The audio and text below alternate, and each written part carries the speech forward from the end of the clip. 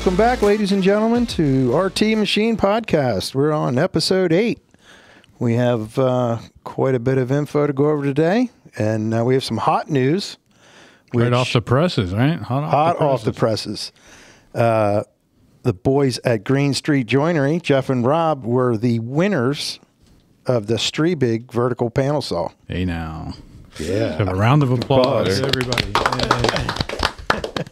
Yeah, it was pretty exciting. Hey, I got the phone call yesterday, and uh, they were like, "You're not going to believe this." I had goosebumps. It was pretty awesome. That is awesome. It was cool to see them guys get it. They they did a good job of with their uh, videos and everything that uh, plugged away to, to actually win the win the saw. So it was Oh, the beauty of it is they'll keep promoting it too. yeah So it's awesome for Striebig as well. yeah with with all their video stuff that they do and what we do, it's going to be uh, great promotional. I think all the way around and really helped those guys out as a shop. And uh, that's what kind of promoted our uh, today's show of talking about saws and panel processing with saws. And uh, we do have a guest though from our service department today. We have Breanna. She schedules people to fix the saws. Yeah. I try my best. Yeah. You do a very good job. Thank you. Why don't you give us a little more background on what you do there, Breanna? Sure. So I started at RT as the marketing coordinator for RT Machine Service. That was until December of 2022 when they had asked me to come on board full time to schedule their service technicians as well as do truck dispatching. I still do a little bit of the marketing, but we let Amanda handle a lot of it. So you started out, you were part time with another company and part time but you're 100% with us right now. Correct. So I started out 20 hours a week for RT Machine Service and 20 hours a week for Blue Tech in Mechanicsburg, which does IT. Um, I'm not exactly sure what came to the decision of bringing me on full time, but they asked me in December if I'd be willing to switch roles a little bit, and here we are. Nice. What did you do before you came to us? So I had gone to Lock Haven for marketing. I got a degree in marketing, and the pandemic hit, so I ended up managing storage units, being an operations manager, renting out units, Oh, that's right, I remember. dispatching our mobile hmm. mm-hmm. trucks. Nice. Yeah. Well, we're glad to have you. You did a great job for us. Well, thank you. Keep the boys in line. That's Yeah, it. sure that's a tough, I'm tall sure order on that one. Easier said than done. easy. Now, I most of the guys are fantastic. All of the guys are fantastic. Derek's executive assistant. That is my title. So you take the calls from customers needing service. Yep, Great. I take all the calls. I filter through anything Derek asked me to. Sometimes we reach out to old customers that we haven't heard from in a while. And the salesmen also send me some leads of people that they've talked to. Yeah, you keep a nice list with with my customers of what we've been uh, working on and what we can fix, what we can't fix, and possibly move into a new piece of equipment if it's worn out its uh, duty cycle. Yeah. Yeah. Excellent. That's fantastic. So yeah, what we thought we would do today is start on uh, saws from the bottom side and uh, take us up through um, the different styles of saws. Uh, obviously, our brands that we carry, and um, some of the differences. And uh, basically, what we're going to do is like our our topic for each saw will be, you know, the safety aspect, uh, efficiency and, and production cutting with them, you know, operator fatigue and uh, accuracy, squaring, you know, of your uh, product coming off, and uh, where to, when to upgrade, and uh, setup and maintenance, you know, as through the life of the saw and and daily or weekly uh, style maintenance or calibrations, and. Uh, Ryan, do you want to kick off with the uh, SawStop?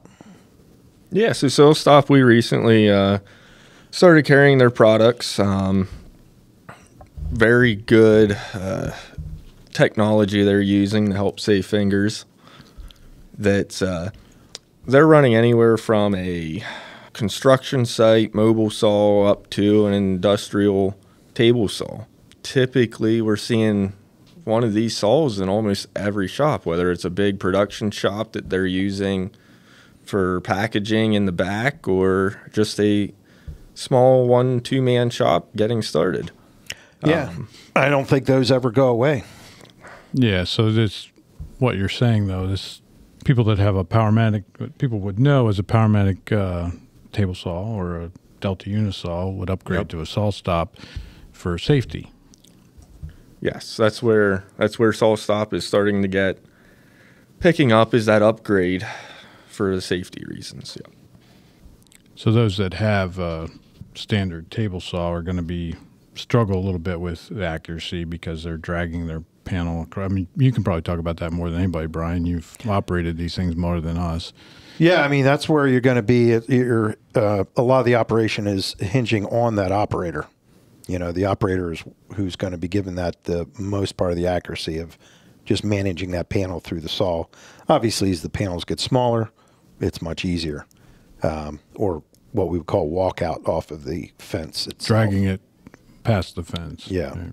Now I get into a lot of shops and I see tables and different uh, support systems built around the saw. Is that mainly just for helping to support the panels? Correct. Yeah, when you most of this stuff when you have all your outfeed tables and some guys even add a smaller infeed table as well to help manage, you know, a four by eight panel or or if you got to even go up to a five by five by nine or five by ten panel. That's got to be quite a thing to yeah, push that through there. It's almost three Yeah, people to run through Yeah. a standard table saw. Right.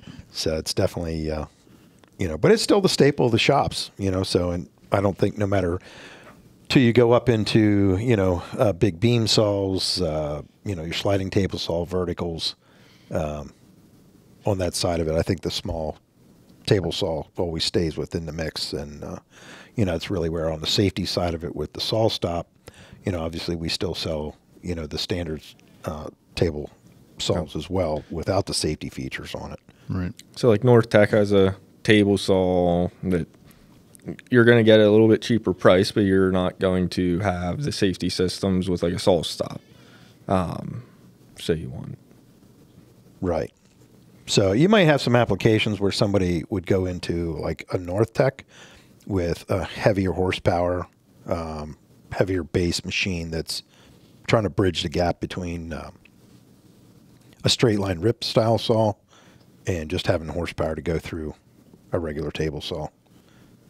When back in the old days, we had the Tannewitz and uh, Northfields, uh, 18 inch blades, uh, the So- cast iron table saws. We can't even give them away anymore, but Yeah, they've definitely moved towards that. And I think a lot of the industry, almost all the way across the board, is shifting towards the safety aspects, is uh, what's really driving that SawStop, you know, because it is probably the number one amputee causing piece of equipment in the shop for sure.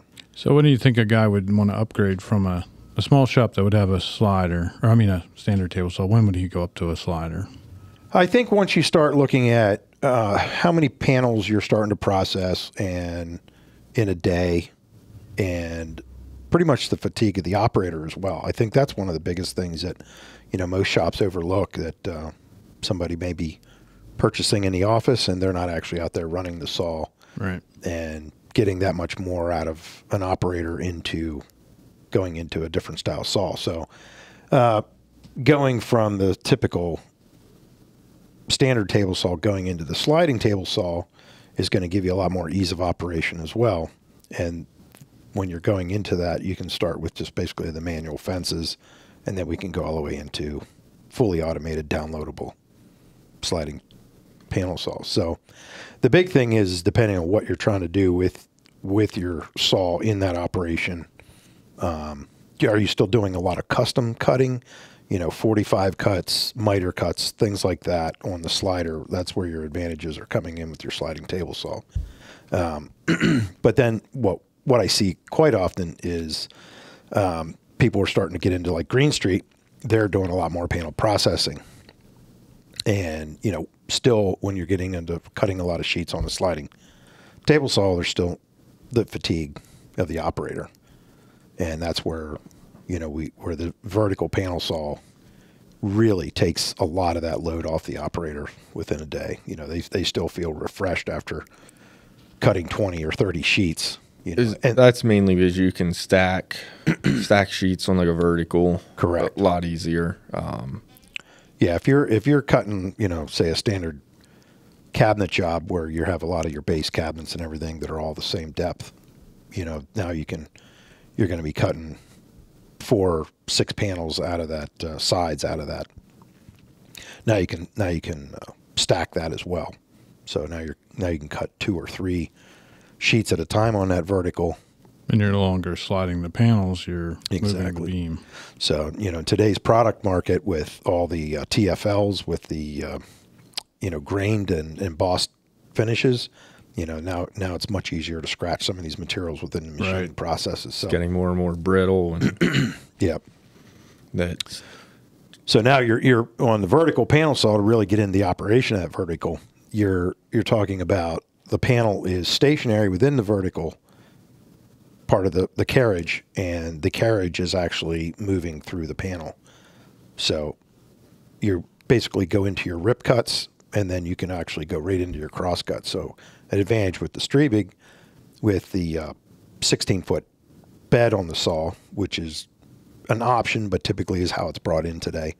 So you're able to take the 4x8 panel, leave it stationed at one end of the machine, make your rip cuts. You can pull those rip cuts off and set them to the side, or you can go right into what we have as a mid fence that pulls out, and you can set your pieces to be cross cut right on that mid fence and go right into your cross cut pieces. So you're not actually taking all the pieces right off the saw. It's staying right on the saw till you knock it down into its actual size to be cut.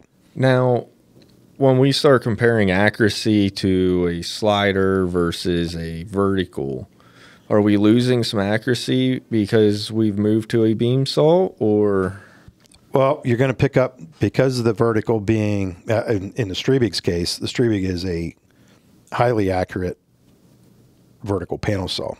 They're not all in that same caliber of what the this is a precision unit where squaring and stuff is much easier. Um, you're not relying on the operator like you are on a sliding or a, a manual style table saw where you're actually having to drive the material through the actual blade and up against the fence. So any little variation, you know, is what what uh, where you're picking up your accuracy. So in in that term, when you're jumping into that vertical, you know your your efficiency climbs way up, so your production is is up with that. Um, obviously, just- safety. and and your safety is huge because now you don't have your hands anywhere near a blade because it's encapsulated into a cage and it's just dropping through the saw and your hands aren't anywhere near the the operation of the saw blade. So that's one of your biggest features safety wise and your dust collection. Yeah. So now all your dust collection is being contained within that and it's being pulled out very well. So now your operator's not in that dusty environment. so even with the best sliding table saws and, and regular Yeah. table saws, you know, the operator's going to eat a little more dust, Sure. you know, in a day. There's just no way around it. It's, you know, it's contained pretty well, but, you know, not like the, not like, like the vertical. And the machine itself does not take up very much space compared to the other options. Right. A lot of That's, people slam up against a wall. Yep. So your typical vertical, you know, standard uh, Striebig compact, you're going to be about six foot by about 18 foot, you know, against the wall between your carriage fully all, all the way out and uh, dust collection and everything. So it's it's a pretty compact compared to your sliding table saw where you're you're talking a good 12 feet from the wall. 20. Uh, you know, you're talking about 12 by 20 area really that you Right. need to process a panel on a sliding table saw. So But by the time you build those tables all the way around your Powermatic or your SawStop, it's Yeah. not, not taking up that much more not space. much different. yeah, so uh, when we're setting a sliding table saw up versus setting like a vertical up, that's we're typically seeing more time to set the verticals up and more maintenance within the verticals.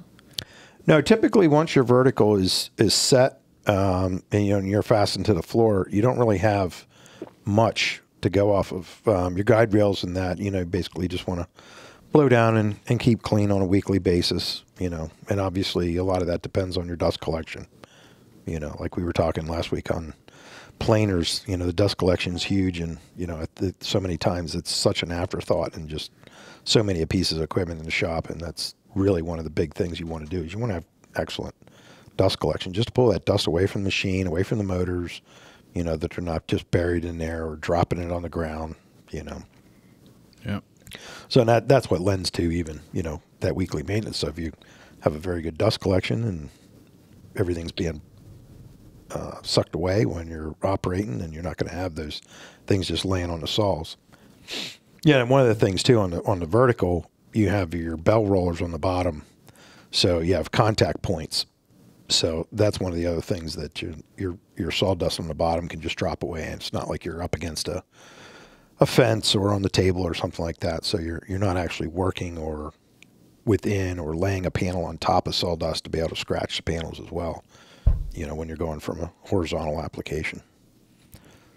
So, and the big thing is is just trying to come up with what is your operation? Do you still need that sliding table saw in the shop with a lot of the operations you're doing? You know, and I know um, like Greene Street, they're actually eliminating their sliding table saw because they have two other SawStop table saws in their shop with other capabilities. So primarily they're um, some of their oddball cutting they do, they'll do on that or on like their track saw. Right. You'd see a lot of people would get rid of their slider once they get a vertical. Yeah. Yeah. it just makes Get it that floor space back. Even processing small parts, SawStop has a small little uh, sliding adapter kit to put on their saws as well too. yes. So Yep, and that, that that makes a nice feature, and a lot of guys do add that to theirs. Which I have to ask them. I, I wonder if I think they might have that uh, feature on there. Hi, everyone. Just wanted to take a quick break to let you know about our weekly inventory email blast. RT Machine is constantly adding both new and used inventory to our system. We alternate between a new email blast and a used email blast on a weekly basis. This week's email will feature a used SCM automated stacker, an RFS high frequency gluer, and many more pieces. If you are interested in receiving these emails, you can go to www.rtmachine.com, scroll to the bottom of our homepage, and enter your email address, or you can call us at 570 584 2002 or email us at sales at rtmachine.com and just say, add me to your inventory update list. Now, back to the show. So then when somebody goes, next step would be a beam saw. Yep, and uh, so when when you go into the beam saws, we have uh, a few different. By the way, Brian's talking all of this because he's used all these machines. just, just everybody knows the rest of us just sell them. But Yeah, I've been in pretty much on all of this stuff, and uh, from all the way to the top side on the our Schelling uh, rear load. rear loaders. So Yeah. yeah, I know it well, too well. and many hour many hours under the belt on those things for sure. That's. But uh, yeah, when you when you when you're climbing between those, and then you start talking about higher production, uh, that's when we typically go into a horizontal beam saw. which here recently we started working with Femol. Yep. And Brian, you're really impressed with one of their uh, saws they have. Um, it's a little bit. It's not quite a table saw. It's not quite a full on beam saw. Yeah, I'd call it really a, a hybrid, you know, and the price point on it is, you know, in that we're in that low 60s, you know, which we didn't touch on price on the other saws because it is quite a wide array. You know, a vertical you're into uh, like 40,000, you know, with uh, digital readouts and stuff on it, which is, you know, in today's marketplace, it really isn't a bad number to be into Right. you know, and then you know when you're sliding table saws, you're pretty much starting about in that uh, eighteen thousand dollar range, and then going till about twenty nine for like a uh, uh, automated fence, and then you're going to jump close to forty for you know a, a fully programmable sliding table saw. So really, when you're looking at a lot of the features, um, this hybrid of the Famal Concept 350 it actually is a beam saw in a more compact version. So it only takes up the same amount of space that the vertical panel saw takes up, with just a little bit more on the on the fixed side of the crosscut beam. So, and what that saw is capable of, because it has its back fence, let's call it like any table saw, your back fence travel would be like 52 inches, which is kind of typical. So that's all that's taking up. So from the beam to the backside of that fence, you're in that, let's just call it 60 inches for round terms. And it has a drop away um, power power back feed fence. So it has two arms that are actually that rotate. So when you're doing a larger panel and you're cutting up into that five foot range, it has a short stroke on it. And then when it calls for making cuts that are going to be, say, three or four inches wide up at the actual beam, they rotate and the arms stick up and able to keep it. And that's why you're able to reduce the back footprint of the saw and give yourself more of like a full on, hmm. you know, beam saw operation. Hmm. And then that, that for a beam saw actually has the, the arbor is tilting. So now you have the capabilities of the sliding table saw, and it actually has a set of um, mitered arms that are off the side of it as well. So instead of having to, like on a slider, turn the the crosscut fences, we're going to call it, Yep. and, and put your your panel in that way, and then travel the saw through the blade. This you're just cutting, putting that on the angle of the fence, and then the blade is the beam is coming down and clamping on that product. Yep. So the beam actually coming down and clamping is securing the part and giving you a higher quality cut versus trying to push it through and having human air Yes. pushing it and slipping. That's some of your benefits of having that beam clamp it. Correct. Yeah, and some of the other options you can do with that. So obviously, it's it's a stepped scoring system. So the blade actually travels through as a score blade, and then it comes back through Oh, and yeah. cuts as a full panel, if that's what you're calling for. You know, if you're running a melamine. So some of the other nice features you can do with that is, you know, uh, miter lock assembly is pretty popular today. Um, and instead of running that through like a shaper or a designated miter lock machine, you're able to put that in the beam saw, cut the 45, and then you can run the blade back through at the 45, and it actually puts a spline cut hmm. in that. So now you can put that miter together with a with a biscuit or a spline within that. So it's a pretty powerful saw when it comes to different features you can do with it. so yeah, we're pretty excited about it. I think it's it's going to make a nice happy medium for those shops that are need to be able to step up production where you can still stack on that saw and uh, still give your capabilities of you know a sliding table saw and uh, especially somebody that's doing a lot of veneer products or or plastic laminates you know instead of having to try to push those products through a table saw now you're now you're into the, being able to just clamp that in place and Safety wise, it's much safer than a sliding table saw. It's much safer than a yep a, a table saw. Yeah, absolutely. Because you know all the safety features that are on it, you can't even actually get your arm in the beam. If you tried to put your arm underneath there and close the saw, it automatically kicks it back, so it wouldn't even operate. Hmm. So it's pretty much next to impossible to to get in that saw and Let's cause hope damage. so. Yeah. yeah. So yeah, that's that's going to be a very interesting concept um, moving forward. I've been following that saw for quite a few years. Actually, I think it was introduced back in uh, about 2008. Uh, I think through the recession years, it had trouble catching uh, some traction, and uh, looked at it pretty heavy, like in 2016, which it you know pretty much came to market and was actually uh, refined and, and done pretty well. And they've they've kept the the electronics on the machine pretty straightforward, which um, uh, we all know today with things going out of date. Yeah. You know, they they've kept it that part of it that you're not into such a brain box that you know is going to be obsolete and user friendliness. So it's really easy to operate. And uh, excuse me. Dean, you're supposed to hit that cough button. Jeez. Still learning That's the I, equipment. I have a bunch of I, well, forgot, I forgot to call him Jamie. little Jamie. Jamie, pull that up. Jamie, pull that up.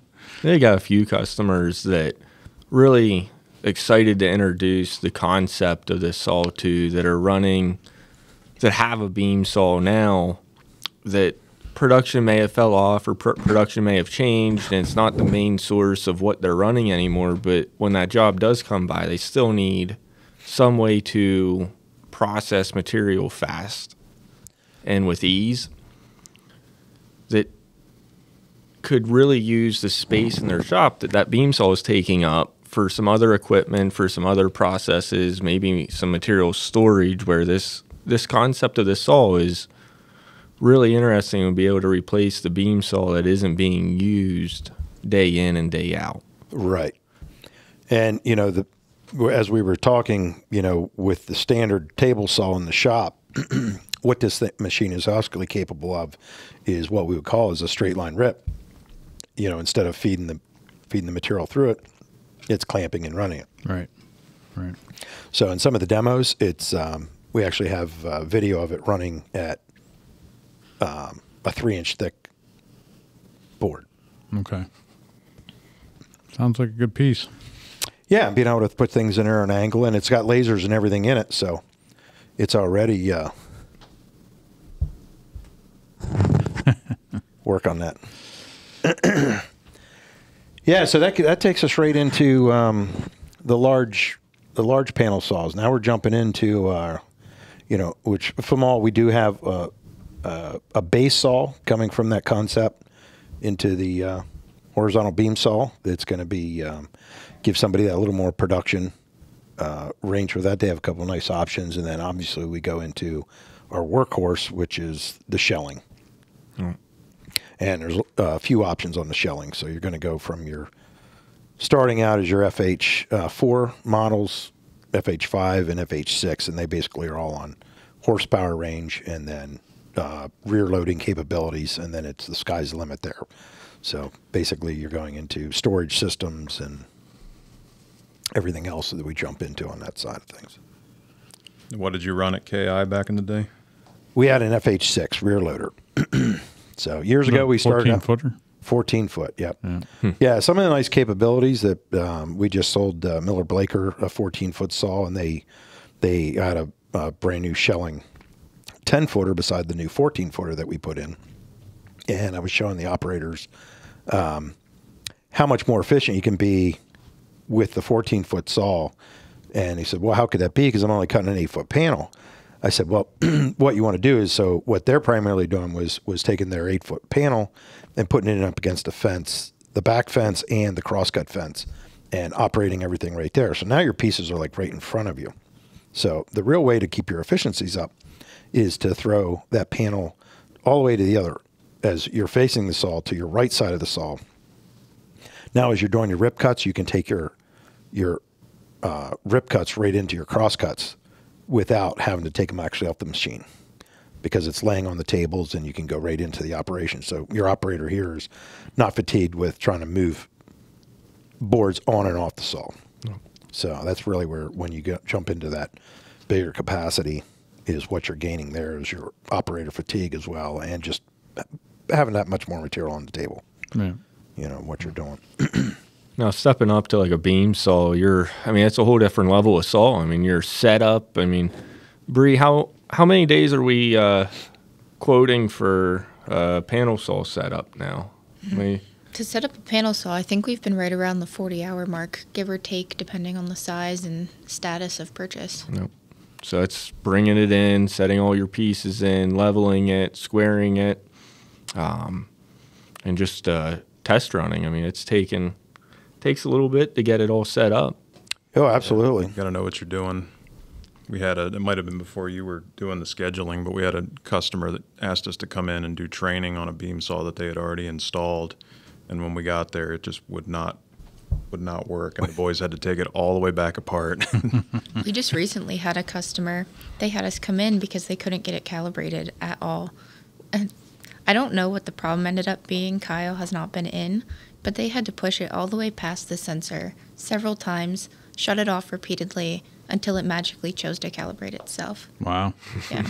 Sounds like an interesting setup. Sounds like a machine. Sounds like a machine. Yeah. yeah. So definitely going uh, on the high side of it. Now you're into now you're into full production that uh, you can pretty much outwork. Uh, when what we were running, uh, typically we would run stacking four to six panels depending on the style of material we were running, and uh, one beam saw like that in FH6 you can outwork three or four CNCs, um, and your cut quality is is really where it's at. That's always the big debate, you know, when you're getting into panel processing, um, between running nested base off of you know CNC routers to to the panel saws. But once you really get into most larger shops, um, we, we the panel processing side that we call it cut band drill is probably my favorite, only because of the accuracy is is where everything's at, and your tooling. Tooling's another thing. You're you're going to get much longer tool life out of a saw blade over a router. Right. You know. And then the panel saws will go all the way up to angular saws where you rip on one and transfer automatically to the second one and cross cut. We don't see a lot of that. That's in the big, big, Big plants, yeah. Yeah. Almost a lights out facility. Right. But uh, yeah, it's pretty much the sky's the limit when you go to uh, the large beam saws. You know, it's you're talking about, you know, let's uh, the female at their standard panel saw coming away from the concept, which is not a tilting arbor saw. You know, you're going to be in that you know 100k range, and then when we jump up to the Schellings, you know, we're we're at 170 plus. You know, and it's not uncommon. You know, the saw we had you know, today was a three hundred thousand dollar Right. saw. now, when do we typically see somebody going from just a standard operator load, loaded saw to just say a rear load with a panel storage system behind it? What are we really gaining by doing that? Well, a lot of it is the, you know, the style of work you're doing. Um, you know, today what what a lot of it's called is rainbow stacking. Um, you know, where depending on how the jobs are coming through the facility, they might only be running, you know, 20 panels of one, but then they might be running five panels of another, might be running seven panels of another. And that's where we call it rainbow stacking. So, where the storage system comes into play is you have all the colors that you are offering within your stack in the stacking system. And then it has a CNC vacuum system that actually goes and picks each material and stacks it per your production run, and then that feeds it into the conveyor and onto the panel saw or onto the panel saw. So it's quite sophisticated. And when you're getting into something like that, now you're talking million dollar setups. Yeah. You know, between saw and and in uh, the inventory systems. Yeah, and they'll feed, they'll feed a saw, a router. The storage systems are Yeah. very Yeah, and that's that's the big thing. Once you jump into a storage system, you're like you just said, the being able to feed multiple machines uh, at a time. yeah. And that's just because of sheer volume. Correct. You just need some volume. Yeah. Well, and one thing you, you do realize as well um, that we've saw, you know, is, is going from uh, a CNC based panel processing over to a panel saw processing. Um, the time, the saw is just incredibly fast, you know, and the accuracy and the tooling. So that's usually the big thing. And you know, I think uh, one of our customers, Northway, they do both No. they have they have cells set up for their their CNC side of things, and then they have their their other cells set up as uh, sawing. Right. You know, and I That's think a nice setup down there. yeah, so they they can bounce back and forth, and there's probably no perfect answer, you know, for it. But um, you know, one thing with a sawing operation is uh, much easier to put operators on. Maintenance is much easier to do as well. So when you get into the panel saw side of things, So people from the cut band bore world will will know it right off the bat. But just to clarify, when we say beam saw and horizontal panel saw, we're talking about the same thing. correct. yeah, That's right. anything that we're coming off, we're going to go from uh, a sawing operation right into an edge banding operation, and then what we would call a, a type of drilling operation. So if you're putting line bore holes, construction bore, any of that type of stuff. so some of the some of the features that you'll see, a lot of the big shops will struggle with as well, and even the small shops as well. Your tooling, um, the tooling is key to keeping everything accurate you know that your edge quality and stuff is is what's going to uh, stay uh, what you would call it is uh, much more in tune through the day than in a compression style bit you know so the operator's got to be on deck a little bit more like what we ran on our flatbeds is my operator because he knew about what amount of time he was running and how many panels and the thickness of the, the uh, board that we were processing we would go he would actually keep three tools on deck in the tool holder so he might have just that that outside trimming tool, he might have it in tool one, two, and three. And as soon as he saw anything, he just hopped right to tool two, and uh, without missing a beat. so he hmm. was already pre-set up for the day or the next day. You know, having enough tools on deck to Right. keep that in place. Hmm. So and there's there's always arguments back and forth of which way's better. I think to, to get around that, and we'll probably talk about it on another episode, but that's one of the reasons that almost every industrial edge bander that comes into the states now has pre-milling on it. Correct. Because they've just decided that that edge is going to need prepped one way or the other. Right. Yeah. Yeah, that is one of the big things. I mean, it, we always push for pre-milling regardless just because if if you're literally not coming from right from the saw right into the bander, you're going to get edge swell. Sure. Know, and that that's what takes that away regardless if you're just nipping it or if you're calibrating it up to whatever edge band thickness you're you're putting on. So it's definitely definitely the way to go for that. All right. We had uh oh, what did we have on there? We had the uh SawStop, we had our North Tack Flamall Yeah, I think you're pretty much Schelling and our our Striebig. The um And we kind of just did a quick run through of price ranges on all those, but of course there's a ridiculous slew of options. That's like anything else. If you want to spend money, they'll there's, there's enough options. exactly. So Yeah, a lot of people would say, you know, what's the next step from your, you know, going into your drilling operation? Um, and that's there's so many options. So from the base side is is just going into a uh, standard line bore style machine that can do just line bore or construction bore if you decide to go into a doweling operation. Um, to I would say the next step would be like a feed through style machine, which are pretty popular today. Uh, doing a lot of the drilling operations.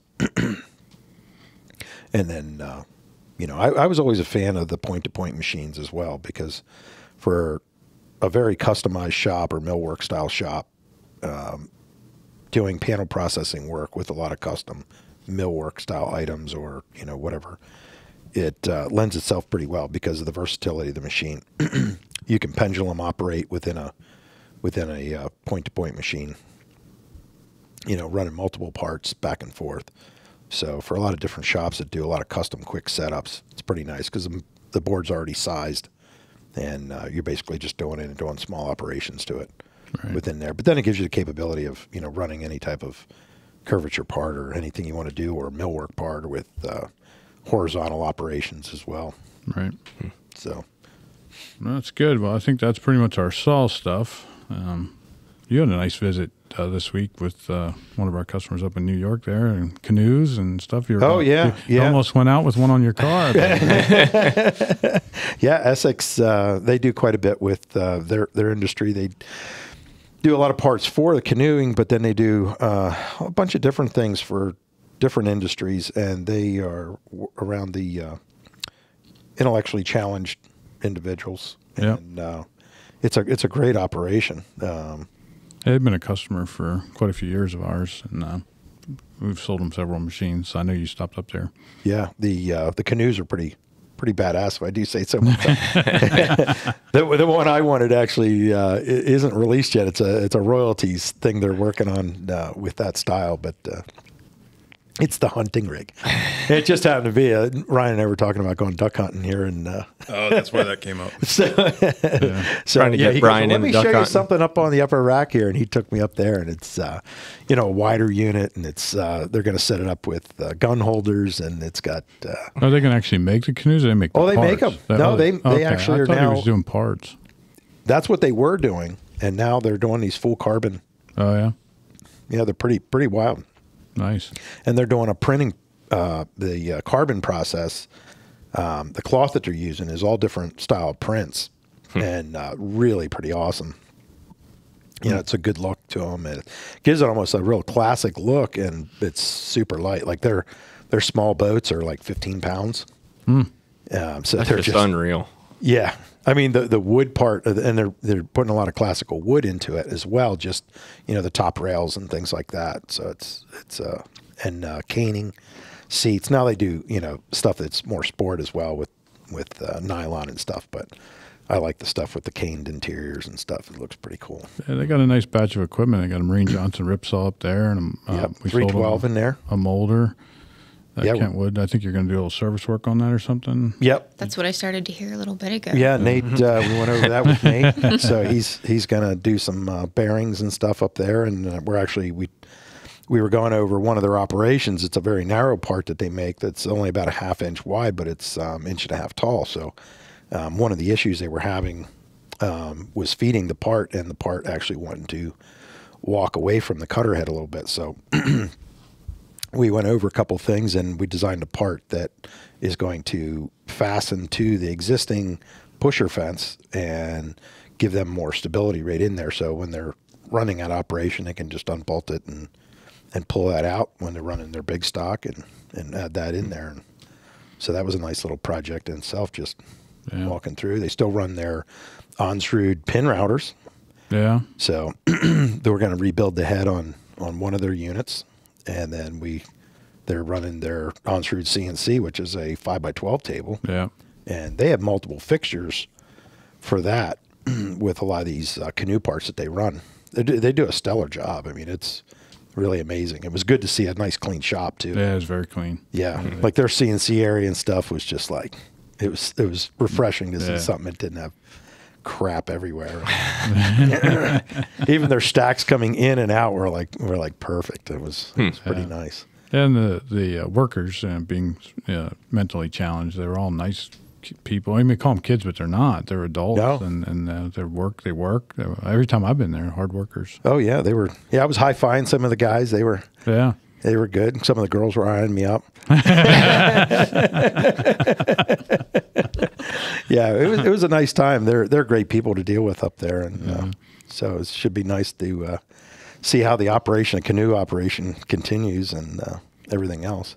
My wife actually used to work for Goodwill Industries, and she she was in the workshops at Goodwill um, with with the uh, the students, and then she was in job placement as well. Mm-hmm. So she she helped uh, put them into the field. You know, pretty much like what they're doing up there. They had a lot more back in before COVID. A lot of the students wouldn't come back, or the workers wouldn't come back because of the COVID thing. So he's been struggling. Yeah, I mean, he just he had 22 applicants and they got two. And I said that's actually really good because I was just at three other shops today and they didn't even get one to show up for interviews. So, Right. um, so it's it's it's good to see that they're still moving forward pretty well with it and they have a great program, you know, with that. And uh, so yeah, Essex Industries. Yeah. So look them up, and uh, it's a great thing you can actually donate to their cause and and help them out with uh, different products that they do. They do some pretty neat stuff with the whiskey barrels too. Well, they don't do that. Uh, Well, they re they reconditioned the oh, the, oh yeah, Yeah. that's right. yeah the old whiskey barrels that can't be used anymore. They Do they get them from the place across the road there? oh yeah they had they was probably five dozen sitting there ready to do redo the bands, and they they prep the outsides of them, and you know they There's go a off. warehouse across the street that does the Metallica one. Oh, it's the Metallica Yeah, one? Nice. Uh, Yeah. Gino, Gino and I went over there and rolled the window down, and listened to the music outside the warehouse. Explain what you're talking about. They, they serenade the whiskey with Metallica Yeah. while it's aging. so it's aging, it's aging in the barrels in a warehouse, and they play loud rock, mu- Metallica music uh, that uh, You know supposedly makes it better whiskey. That's probably why I listened to Metallica the whole way home. I didn't even think of that. I was like, holy cow. It was like, yeah, I think my radio, like in that, that valley there you're at, it turned it automatically. they chan- channeled you while you were in Mineville, New York. But Sip it's a whiskey beautiful country. immediately go, Ooh, yeah. Oh, yeah. That's what that was. Yeah, it's right up there top of Lake George. I mean, at the top of Lake George. Yeah, it's beautiful. Yeah, when I got back in the car and I was cruising out of the valley, and then I hit uh, 87 there, I was like, "Oh wow, it's only hundred miles yet to Albany." you realize how far you're up there. That, that windy road from 87 over. I, oh, yeah. I, have a good time on that with my car. So As Ron just put tires on his car again. now you're wondering, now you know why. Wondering why the tread was gone. yeah, yeah. Next time around, I get to got to go to the low profile. I got the Jeep for the high country stuff, and Yeah. Maybe you'll, you'll need Jill's over there shaking her head. You guys, Oh, Jill's in the room? Jill is in. Everybody should be introduced to Jill. Jill takes care of us very well. Jill, say hi. Say what's up, quick. Jill. Hi, guys. How's everybody doing? Jill does not like microphones. She is filling in for uh, Dean, and there, she's uh, showing her the the control board. So we're, and that's what Jill used to do. So she knows it. Yep, she knows how to do that.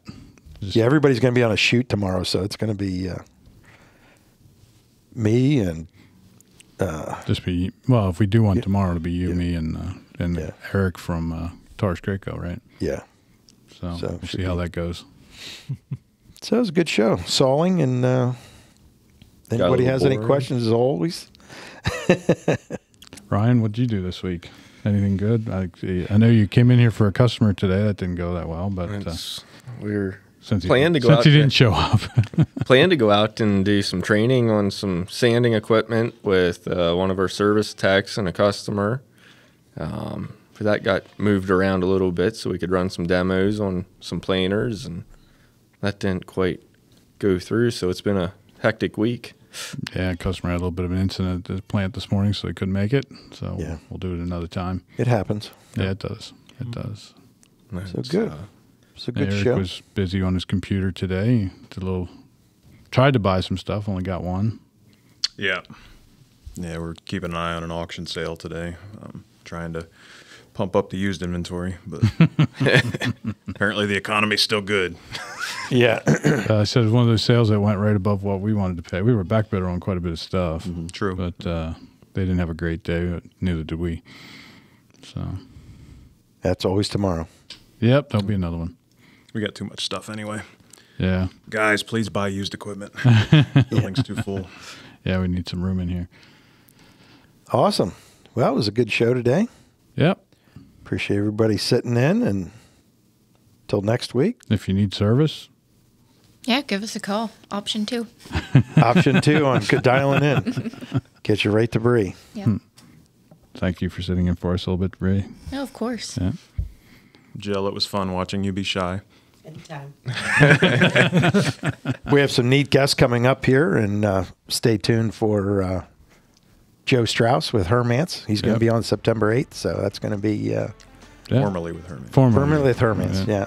So Yeah, should be get our voice uh, viewers to tune in on that one, and Absolutely. should be very Looking forward to it. okay. Till episode nine.